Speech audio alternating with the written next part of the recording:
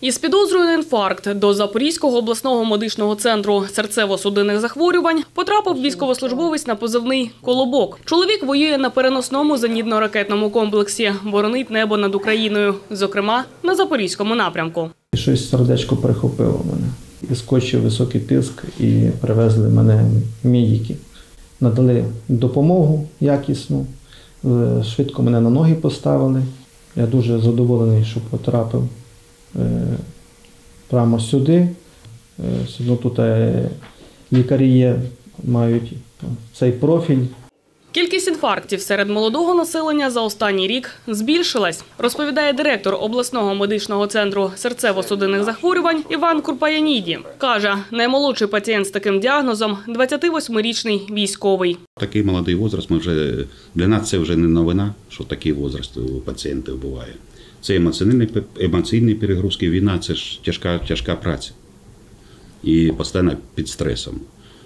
Прооперували, стенд поставили, він буде, буде жити.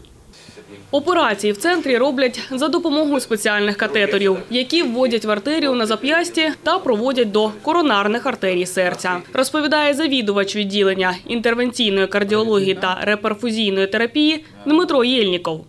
Произошло от- відкриття коронарної артерії з послідуючим імплантацією стента, така пружинка, яка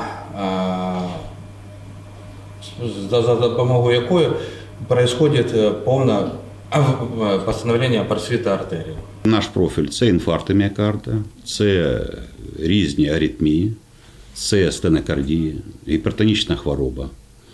І ми займаємося ще проблемою е, інсультних.